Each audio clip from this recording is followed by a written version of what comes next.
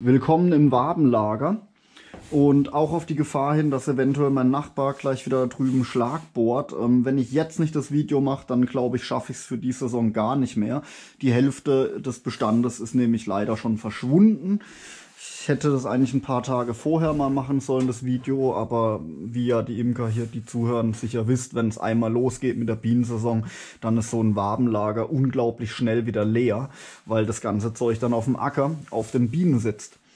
Und warum ich jetzt das Video mache, ist eigentlich, ähm, um, um zu zeigen, wie man in einer Imkerei, Hobby, privat oder auch im Beruf Waben lagern kann, ohne Stromverschwendung, sprich ohne Kühlhaus. Und gleichzeitig beantwortet es auch die Frage auf die vielen Kommentare, was denn mit dieser äh, Wachsmottengeschichte ist. Also ich habe das Wachsmottenproblem eigentlich gar nicht. Und die Erklärung ist simpel. Wir gehen nochmal in den Namen rein von der Wachsmotte. Die hat nämlich einen falschen Namen. Eigentlich müsste man sie umtaufen in, in, in, in Häutchen- und Pollenmotte, weil das ist genau das, wovon sich das Tier auch ernährt. Ähm, bedeutet, die Wachsmotte legt Eier, die können wir nicht sehen, die sind unglaublich klein und die können potenziell überall in so einem Bienenvolk drin sein. Und diese Eier, die schlüpfen bei 12 bis 14 Grad, springen die auf und werden zu Larven. Und die Larven, die ernähren sich dann durch sozusagen das Wabenbau durch von den Häutchen, die die äh, Larven spinnen bei der Verpuppung. Also die Bienenlarven spinnen das Häutchen, deswegen werden die Waben auch dunkel, die Brutwaben der Bienen. Und äh, Pollen also diese Häutchen und der Pollen, das ist das Milieu und der Nährwert, wo die Wachsmottenraupen benötigen, um sich später voll zu fressen und dann zum Falter sich zu entwickeln. Und wie man ja so schön sagt, gibt den Tieren nicht einen vollen Teller und die Tiere sind nicht da. Deswegen habe ich in meine Kom Kommentare als Antwort immer reingeschrieben, ähm, aufs Milieu achten. Das heißt, das, was ich hier mache, ist eine einfache Wirtschaft, die einfach das Milieu berücksichtigt. Und deswegen brauche ich hier weder irgendwelche Chemie, noch irgendein Gas, noch einen Schwefelstreifen, noch sonstige Applikationen. Ähm, es gibt ja auch diese Bakterien, wo man auf die Waben sprühen kann, wo dann die Wachsmotten ähm, angehen. Aber das, das ist alles nicht notwendig, wenn ihr das richtig macht. Und ich, um es einfach mal ganz kurz jetzt zu erklären, ich habe hier drei Kategorien. Das eine sind die Kisten der Leerrähmchen, dann habe ich die Kisten der Mittelwände und dann habe ich die Kiste der ausgebauten Mittelwände. So, wir fangen mal an mit den Leerrähmchen. So, müssen wir kurz anheben. Ein Leerrähmchen ist gedacht für den Naturwabenbau. Und das sieht dann so aus. Ihr könnt schon erahnen, es kommt ursprünglich von einem ganz normalen Rähmchen auf Horizontaldrahtung gemacht für Mittelwände. Das ist aber für die Bienen ein Murks, äh, damit Naturwabenbau machen zu wollen. Allein schon die Messerführung ist murksig und die Bienen stören sich auch definitiv an der horizontalen Drahtung. Ihr dürft mir gerne alle meine Erfindungen hier äh, klauen. Ähm, bin natürlich froh um Spenden, aber ich, ich mache das wirklich öffentlich, weil ich denke, das hier ist für alle Imker das Nonplusultra, wenn es um Naturwabenbau geht. Ich habe beim Coaching alles Mögliche schon gesehen, was sich Imker einfallen lassen haben und letzten Endes habe ich es runtergebrochen auf wirklich, sage ich mal, die simpelste, einfachste Konstruktion. Einmal für mich als Imker und natürlich auch für die Bienen, weil zweimal senkrecht gedrahtet stört die Bienen beim Naturwabenbau definitiv nicht. Und wir haben als Imker eine glatte Messerführung. Das geht mit jedem Rähmchentypen und ihr braucht dafür eigentlich nur eine Bohrung setzen und sozusagen das Rähmchen auf drei Kategorien aufteilen mit einer Doppeldrahtung senkrecht runter in die Mitte. Bei diesen Rähmchentypen gibt es jetzt nur eine Besonderheit, äh, da lagere ich nie Wachs mit rein weil Wabenhonig, den ich daraus produziere, muss auch gesetzlich in der Definition eine ganz frische Wabe sein. Das heißt, wir wollen eine schneeweiße von Natur, also von den Bienen frisch gebaute, mit Honig gefüllte Wabe ernten und die als Wabenhonig selbst essen oder verkaufen. Und deswegen ist ja schon mal klar, dass ich hier mit Naturwabenbau überhaupt keine Waben einlage. Wenn es Altbestände gibt, vom Herbst zum Beispiel, weil das Wachs äh, dunkler geworden ist, alt, leer, wie auch immer, dann schneide ich es raus ähm, und lasse den Leitwachsstreifen stehen. Gleich dazu nochmal mehr. Und dann werden diese Rähmchen immer leer eingelagert für sozusagen die kommende Saison. Um das kurz zu erklären mit dem Leitwachsstreifen. Normalerweise sieht ein Leitwachstreifen so aus. Ne? Man nimmt ein Stückchen eine Mittelwand und legt die dann hier in die Nut rein und äh, ich befestige das tatsächlich einfach nur mit einer handgedrehten Bienenwachskerze aus so einer Mittelwand. Die zünde ich an und lasse dann das Bienenwachs hier oben reinlaufen. Dann habe ich den Streifen fest drin. Und der dient lediglich nur der Orientierung von Bienen, weil sonst kann euch gerade bei Naturwabenbau recht schnell passieren, dass die Bienen auch mal Waben einfach schräg reinziehen. Und das ist für die Biene nicht schlimm, aber für uns beim Rähmchenziehen kann das Probleme verursachen. Und deswegen sollte man da schon Leitwachstreifen drin haben. Eine Schiffsrumpfleiste wäre übrigens die Alternative für Leitwachsstreifen. Äh, ich persönlich halte Schiffsrumpfleisten nicht für äh, angebracht in einem Rähmchensystem, also nicht in so einem Kistensystem drin. Da ähm, würde uns einfach Platz fehlen und wir hätten auch zusätzliche nochmal, also zusätzlich zwei Kanten, wo wir abfahren müssen im Messer und das würde auf die Zeit gehen. Also ich bevorzuge den Leitwachsstreifen bei Rähmchentypen. Ja. Und jetzt gibt es halt was Schönes, wenn ich eine Wabe abschneide, dann lasse ich einfach ganz wenig vom Bienenwachs dran. Zum Beispiel das hier. Zugegeben, ist jetzt nicht der schönste Leitwachstreifen. Hier wird mit Sicherheit die Biene ein bisschen rausbauen. Aber das ist, was ich meine. Das bedeutet, wenn ihr eine Naturwabe abschneidet, lasst ihr einfach immer einen ganz kleinen Fissel von Bienenwachs dran. Dann kann nämlich die Biene das als Orientierung nehmen und ihr braucht nicht nochmal von vorne so einen Leitwachsstreifen einlöten. Wenn es natürlich jetzt ganz schwarzes Wachs ist, dann muss man es halt mal sauber kratzen, hier die Fuge sauber machen und dementsprechend neu bespannen. Das sieht dann danach so aus. Genau, also Naturwabenrähmchen sind ähm, geklärt. Und dass hier keine Wachsmotte dran geht, ist ja schon mal klar, weil so so kein Wachs ist. Und wie gesagt, wenn hier ein bisschen dunkel ist, ja, ich weiß, ich habe hier auch äh, teilweise Wachsmotten-Fraßgänge dran, aber das ist so wenig Milieu, da braucht ihr euch eigentlich keine Gedanken machen. Lasst halt mal ein paar Raupen schlüpfen, die gehören auch zur Natur. Ist okay. Aber wenn es halt groß wird, also wirklich wenig stehen lassen, weil wenn es ein Zentimeter ist, dann habt ihr schon bei einer dunklen Wabe das absolute Milieu für Wachsmottenvermehrung. Und dann darf man sich nicht wundern, dass die ganzen Kisten auch angefressen werden und dass da eine riesige Raupenzucht verursacht. So, Naturwaben sind geklärt. Dann haben wir hier die ausgebauten Waben.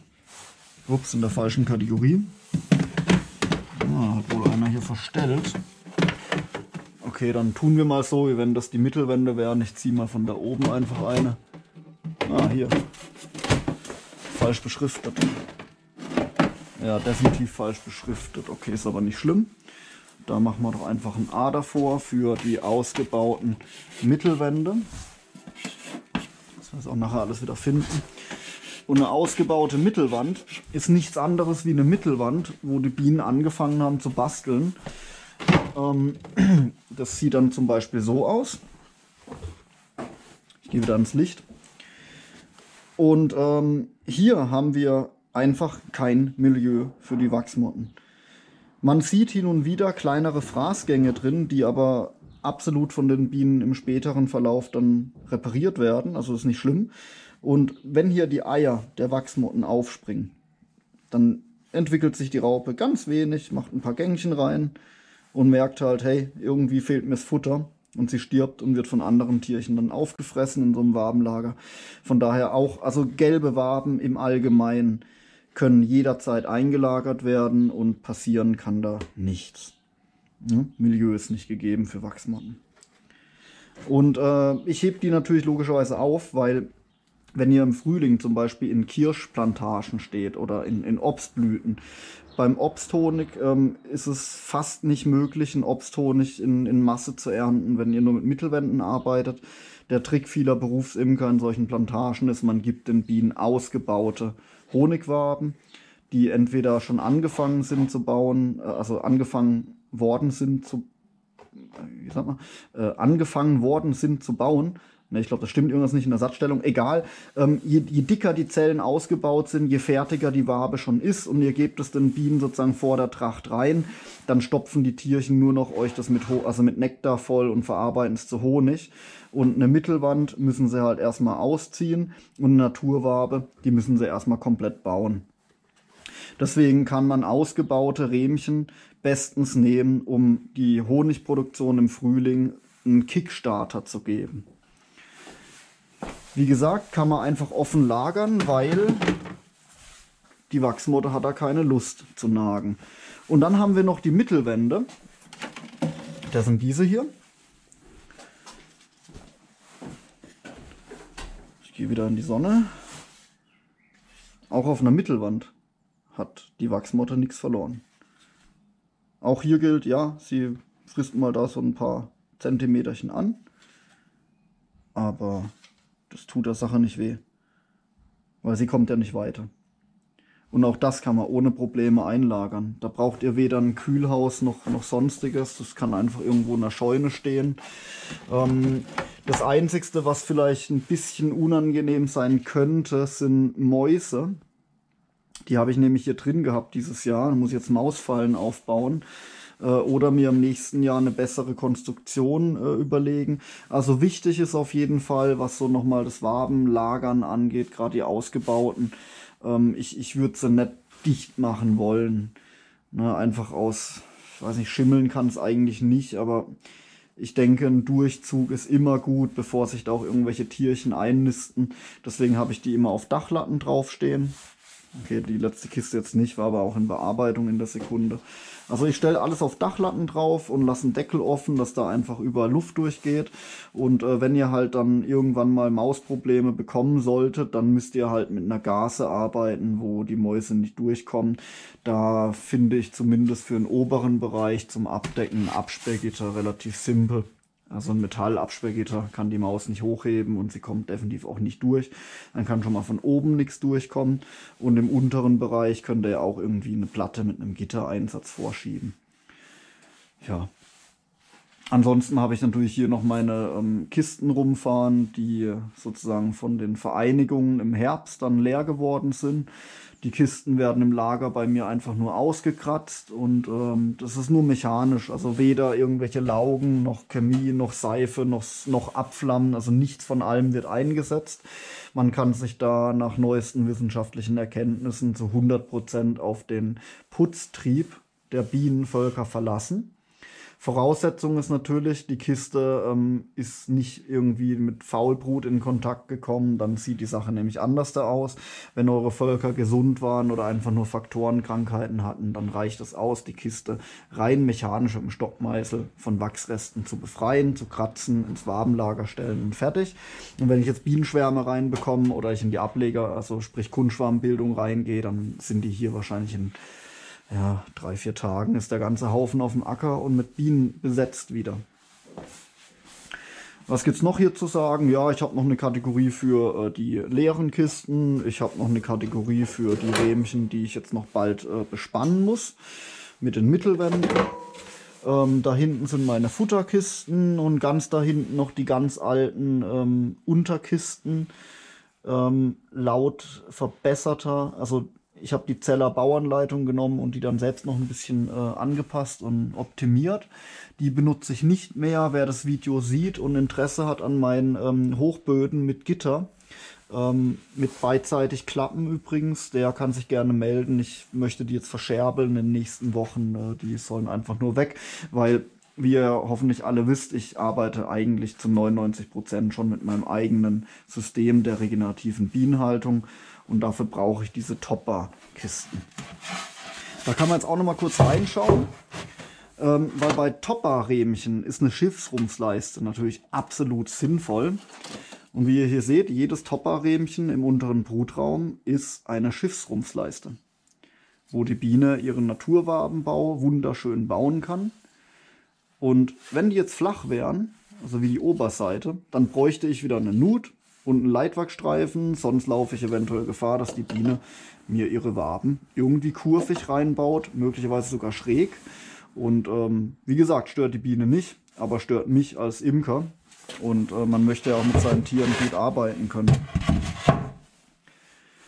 Die Futterwaben, die habe ich hier oben nicht stehen. Das ist mir ehrlich gesagt zu schwer, die hier alle hochzuschleppen. Die stehen in der anderen äh, Räumlichkeit. Äh, wie man Futterwaben einlagert. Da mache ich euch nochmal ein ganz spezielles Video, weil bei Futterwaben muss man tatsächlich, was die Wachsmotten angeht, wesentlich mehr beachten, wie äh, diese Leerrahmen, ausgebauten Mittelwände oder Mittelwände. Wer Fragen hat zu dem Video, gerne auch in die Kommentare schreiben. Ich versuche so gut wie es geht zu beantworten und also ich muss mal zum Abschluss wirklich sagen, gelernt habe ich das in der Imkerei mit Kühlhaus und alte Waben einlagern. Und wo ich mich selbstständig gemacht habe, habe ich einfach in, in Feinheiten reingeschaut von Effizienz und vor allen Dingen von, vom Bienenleben und habe dann einfach mein Leben an die Biene stark angepasst. Immer mit dem Gedanken, energiesparend arbeiten zu wollen die Biologie des Bienenvolkes entfalten zu lassen und mir möglichst viel Arbeit zu ersparen. Ne, ich weiß, ein Berufsimker, der auf Honigerträge ausgelegt ist, der kommt nicht um ein Kühlhaus außen rum. Und man muss dann auch wirtschaftlich mit Altwaben imkern. Und dann habt ihr das Problem im Kühlhaus.